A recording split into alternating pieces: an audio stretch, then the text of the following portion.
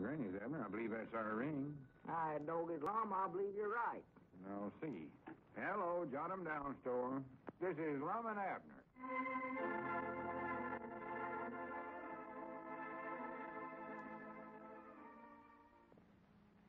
And now, let's see what's going on down in Pine Ridge. Well, Lum is a little worried over the fact that Diogenes Smith found out he had ruined the package of pamphlets he was supposed to deliver to the man at the county seat. However, his worries are somewhat overshadowed by his new activities as air raid warden. He appointed Mousy Gray as one of his watchers and put him on duty all last night. As we look in on the little community today, we find Lum in the Jot 'em Down store and library. Abner has just returned after making the deliveries. Listen. Hey, lum, I'm plumb wore out. I ain't used to making them delivers no more, you know it? Uh, oh, you back already, Abner? Yeah, I wish you wouldn't have Mousy for one of your night airplane watchers. I don't want to have to do his work in the daytime. Well, this is for a good cause, Abner. Besides, he won't be on duty every night. Just a couple of nights a week's all. He ought to be getting down here pretty soon to make his report. And I hope he gets down for the afternoon deliver. What you filing on there, Long? No, nothing. It looks like a badge. What, what kind of badge is it? Oh, it's just my air raid warden's badge. I'm supposed to wear this on my uniform. Oh, By the way, how does my cap look now? your cap. Yeah, see, I printed air raid warden on a piece of cardboard and glued it over where it said porter. Oh, oh, yeah, yeah, I hadn't noticed that. That looks good. Uh, what are you filing the badge for, Lum? Is it too big? Huh. Yeah, that's it. Too big. Well, uh, hold it up once. Let me see how big it is. Abner, I wished you'd stop being so nosy. Why, that says game warden on there. I thought you said that was an air raid warden's badge. Well, uh, government must have made a mistake and sent me the wrong kind. Well, So now I got to file that word game off and study up some way to get air raid on there. huh. Of course, I could send it back to the government, but I don't want to put them to no extra bother. No, the government never sent you that. You bought that when you went into the county seat yesterday, now didn't you?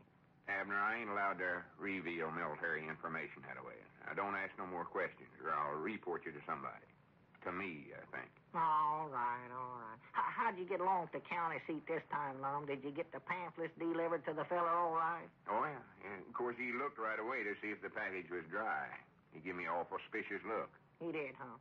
Reckon how Dodge and he's found out about that other package getting all wet. Grannies, I don't know. He must have some kind of a super unnatural powers.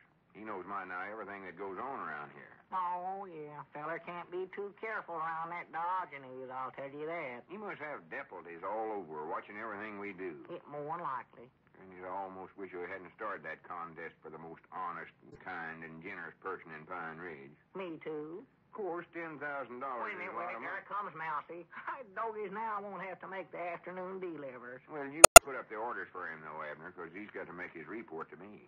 Well, that won't take long. Well, it might. I told him to write out a full report of everything he's seen during the night.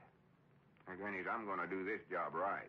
Well, can I listen to the report? Of course not. This is confidential stuff.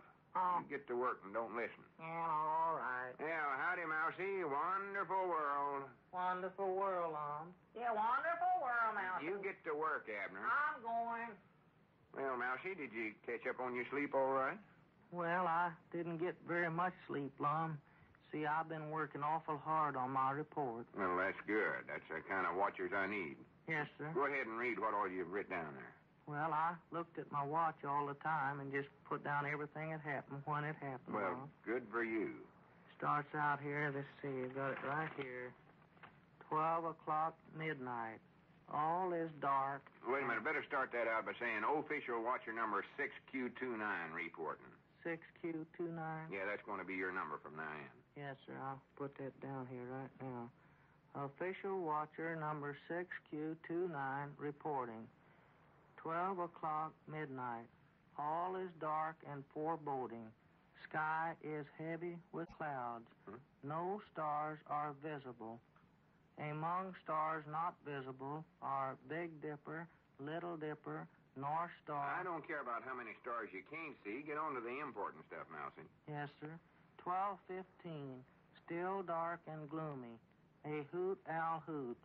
It is a very mournful sound. Hoo hoo, hoo hoo. I don't know what a owl sounds like, Mousy. Skip over that part. Yes, sir. 12:20. Once again, the hoot owl hoots. 12:25. Hoot owl hoots again. 12:27. Hoot owl. Is that all you got in that report? Is hoot owls hooting? No, sir. This next one is different, Lum. 12:31. I make a friendly gesture and hoot back at the owl. For goodness sakes. 12:36. The owl hoots twice and I respond. 12:39. I hoot three times and the owl responds. Well, for the 12:41. land's sakes, Mousie, I don't care nothing about any of that stuff. You're supposed to watch for airplanes and any suspicious things you happen to see. Yes, sir. Well, I wanted to put the owl in my report, Lum, because he, he, well, he was so friendly all night, and he just seemed like a mother to me. Yeah, I know. Everything seems like a mother to you. But how about airplanes? Did you see any of them flying over? Well, only the mail plane, but I never put that down because Diogenes was on duty then. Diogenes. Yes, sir. Did he come out of his printing shop and take over for you? Yes, sir. He came out about two o'clock, just about the time the car drove by. The car. Whose car? Well, I don't know, Lum. It was so dark last night I couldn't tell. All I know was that Diogenes waved his lantern at the car. He said he always waved his lantern at strangers in the night because it was a beacon of friendship, he said. Yeah, it sounds like him, all right. All us doing something for others. Yes, sir. Did the car stop? No, sir. Not then. What do you mean, not then? Well, after it'd gone past, why, Diogenes said that I should go home and get some hot coffee and warm myself up while he stood guard for me. Hmm, there's awful thoughty of him. So I went home, but I didn't want to wake Gussie up by making a lot of noise in the kitchen, and I just turned around and walked back. And that's when I saw the car again. Or at least I figured it was the same car. Well, had it stopped somewhere then? Yes, sir, right here in front of the Jot 'em Down store. And Diogenes was talking to the driver. Oh, more than likely telling him about the lantern of friendship and all. Yes, Could you see who the driver was? No, sir, it was too dark, Lum, and, well, the car was heading the other way, so all I could see was just the fellow's back. And once when Diogenes held up his lantern, why, I saw him hand the driver a big package of those pamphlets. Pamphlets. Yes, sir. Uh, Granny's, I wonder if he's got another circulating manager. More than likely somebody trying to get my job. What else did you see? Well, I'm not sure, Lum, but it looked like the driver got out his billfold and handed Diogenes a lot of money. Money. Yes, sir. For goodness sakes. Well, that feller, whoever he is, must be awful anxious to get my job away from me if he's willing to pay for it. Yes, sir. Granny's, I gotta find out more about this. Did Diogenes know you was watching him? No, sir, I don't think so. I stood back in the shadow of the store and waited till after the car had driven away. Uh, well, did you ask Diogenes anything about it after you joined him later? Well, I didn't get a chance, Lum. He said he had to go back to the feed room and start the presses rolling again to turn out the golden words of honesty, I believe he called them, and then he left right away. Uh, about what time was that? Well, let's see, I've got it right here. That was uh, 2:29 a.m. And then at 2:31 a.m., the owl hooted twice, and I responded. At Mousy, 2:37. forget that hoot owl stuff. This other might be serious. Yes, sir. We should have got a look at the feller driving the car. Was he big or little or what? Well, I don't know, Lum. It was awful dark.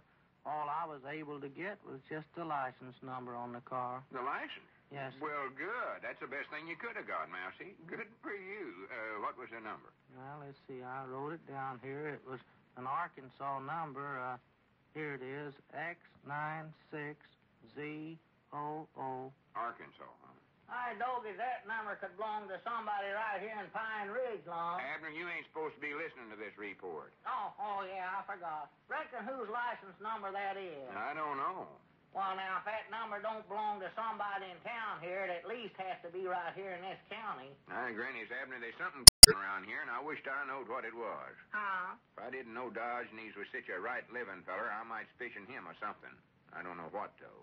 Well, it does look sort of funny, don't it? Yeah. I can understand how some snake in the weeds would try to pay Dodge Diogenes to get the circulating manager job, because that sort of gives you the inside track on winning the $10,000 prize. Sure. But what I can't understand is why Dodge Diogenes would take the money.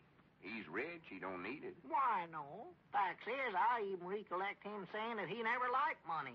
Wait a minute, wait a minute. There comes Cedric. Huh?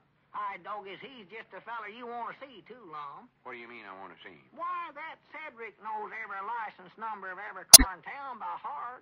He sits down there at that gasoline station for hours at a time, memorizing them. Yeah, that's right, ain't it? Why, sure. Hi, Doggies, maybe we'll find out something. Well, howdy, Cedric. Come on in. Wonderful world. Yeah, wonderful world, Cedric. Uh, say, Cedric, whose license number is, uh, uh, what's that number, Long? Mousie's got it wrote down there. What is it, Mousie?